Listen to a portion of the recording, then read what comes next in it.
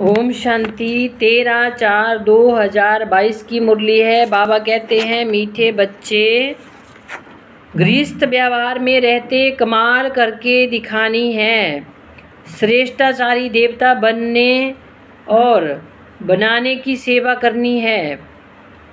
Question है, राजाई के वर्षे का अधिकार किन बच्चों को प्राप्त होता है?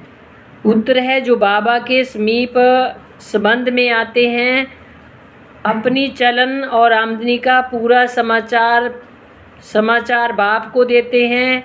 ऐसे मातेले बच्चे ही राजाई के वर्षे का अधिकार प्राप्त करते हैं। जो बाबा के आगे आते ही नहीं, अपना समाचार सुनाते ही नहीं, उन्हें राजाई का वर्षा मिल नहीं सकता। वह है सौतेले बच्चे, बाबा कहते हैं। बच्चे, अपना पूरा पूरा समाचार बाप को दो। तो बाबा समझे यह क्या सर्विस कर रहे हैं? बाबा बच्चों को हर हालत में ऊंच पद पाने का पुरुषार्थ कराते हैं। गीत है, कौन आया मेरे मन के द्वारे?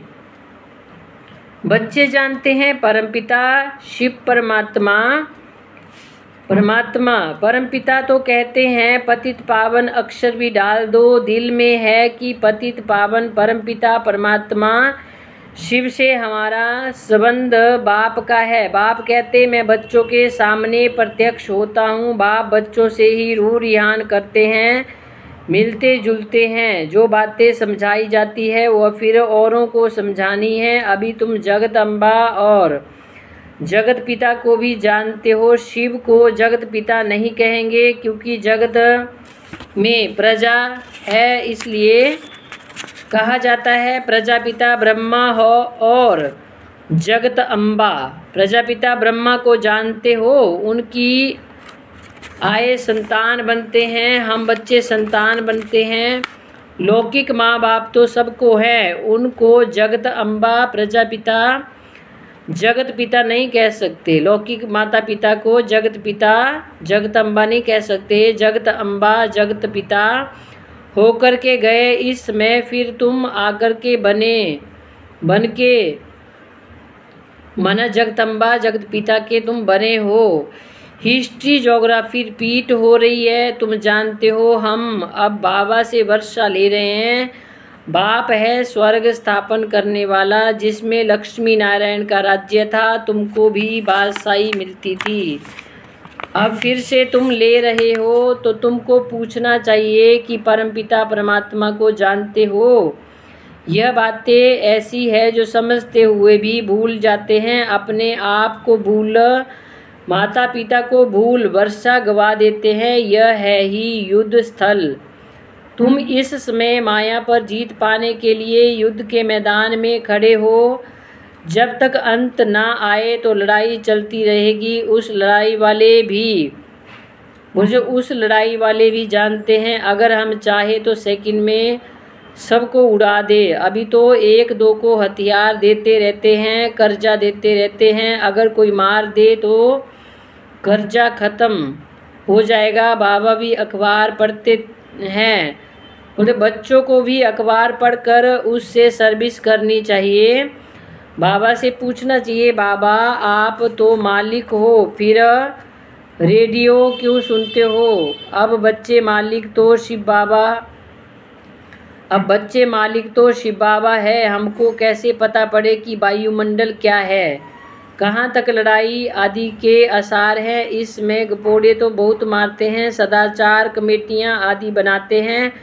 उन्हों को लिखना चाहिए, यह दुनिया ही भ्रष्टाचारी है, सदाचारी कोई कैसे हो सकता है? भ्रष्टाचारी भिकारी को कहा जाता है, यह बातें तुम बच्चे जानते हो। बच्चों में भी नंबर वार है। तुम सबसे पूछो कि परमपिता परमात्मा से तुम्हारा क्या संबंध है। जैसे क्रिश्चियन जानते हैं, क्राइस्ट ने फलाने समय पर जन्म लिया। अच्छा उनके आगे कौन थे? लक्ष्मी नारायण को राज्य किए कितना समय हुआ? इसमें आदि सनातन देवी देवता धर्म वाले ही धर्म भ्रष्ट और कर्म भ्रष्ट हो गए हैं। शास्त्र में ही लाखों वर्ष कह दिया है, अब तुम सुजाग हो गए हो, फिर औरों को भी सुजाग करना है। तुम जानते हो, शिव बाबा हमारा बाप है, प्रजापिता ब्रह्मा और जगदम्बा भी हमारे मम्मा बाबा हैं। फिर पूछा जाता है, लक्ष्मी नारायण को सत्यु का वर्षा कहाँ से मिला? पाँच हज़ार वर्ष हुआ पाँच, बोलते पाँच हज़ार वर्ष हुआ, मिला था, अब नहीं है। अब मिल रहा है, अब हिस्ट्री रिपीट हो रही है, अब सभी को बाबा का संदेश कैसे दें? क्या घर घर में ढिंडोरा पीटे अच्छा बोर्ड भी तुम लगा सकते हो, क्योंकि तुम हो मास्टर अविनाशी सर्जन परमपिता परमात्मा है, निराकार। अब यह तो कोई नहीं जानते कि शिव बाबा ने किसके शरीर में जन्म लिया, ऐसे तो बाबा क्या कहते हैं? बाबा अभी अच्छी रीति से हम बच्चों को समझा रहे हैं। कृष्ण के शरीर में प्रवेश कर बोलते जन्म लिया। यह तो तुम नंबर बार जानते हो कि वह हमारा परमपिता, परमात्मा है और हमारा टीचर भी है। हमको बहुत अच्छी शिक्षा देते हैं। बाबा फिर से कल्प के बाद आकर के मिलते हैं। समझते हो पक्का पक्का निश्चय भी है। फिर घर जाते हैं, वह नशा हमारा उड़ जाता है। घर गृहस्थ में रहते धंधा दोरी में रहते, कहाँ तक नशा रहता है, यह तो ज़रूर बाबा को लिखना चाहिए, परंतु बच्चे बाबा को पूरा समाचार नहीं देते हैं। तुम बच्चे बाबा को पूरा जानते हो तो बाबा को भी पूरा मालूम होना चाहिए। तब तो मत देंगे ना, तुम कहेंगे, शिव बाबा तो अंतर्यामी है, परंतु यह ब्रह्मा कैसे जाने? कोई तो बाबा के आगे आते ही नहीं, इसलिए समझाया जाता है, यह सौतेले बच्चे हैं तो राजाई का वर्षा नहीं पा सकते। अगर श्रीमत पर हम ऐसे नहीं कह सकते कि श्री कृष्ण के शरीर में प्रवेश करके जन्म लिया, ऐसे नहीं कह सकते बाबा को। बच्चे भी बाप का सब कुछ जान लेते हैं, बाप को भी समाचार देना चाहिए। हम जो भी कर्म करते हैं, जो भी काम करते हैं, उसका समाचार हमें परमात्मा को देना चाहिए रोज़ शाम को। यह है हमारा रूहानी गृहस्थ व्यवहार का संबंध, यह है रूहानी ईश्वरीय परिवार। बोलते सुप्रीम रूह से सभी आत्माओं का संबंध है। सबसे यही प्रश्न पूछो कि इन लक्ष्मी नारायण को तुम जानते हो? तुम लिख सकते हो कि इन सब बातों को जानने से तुम श्रेष्ठाचारी बन सकते हो, नहीं तो कदाचित नहीं बन सकते। ऐसी ऐसी सर्विस करने से तुम ऊंच पद पा सकते हो, नहीं तो कदाचित नहीं बन सकते। तो क्यों नहीं बोर्ड लगाते हो?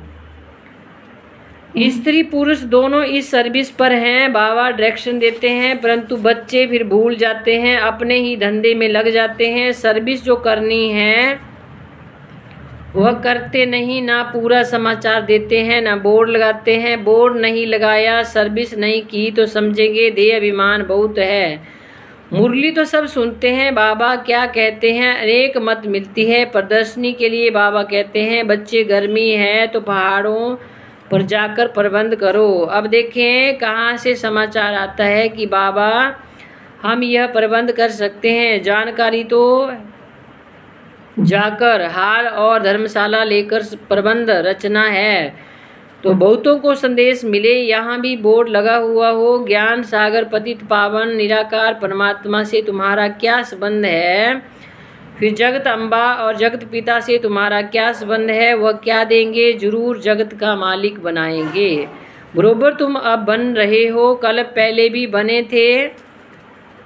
यह तुम बोर्ड, बोलते तुम यह बोर्ड लिख दो तो फिर और सब प्रश्न ही खत्म हो जाएँगे।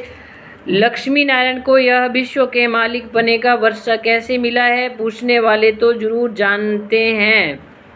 पूछने वाला तो ज़रूर जानता होगा, अगर इतनी सर्विस नहीं करेंगे तो गद्दी पर कैसे बैठेंगे? यह राजयोग है नर से नारायण बनने का, प्रजा बनने का नहीं। क्या तुम यहाँ प्रजा बनने आए हो?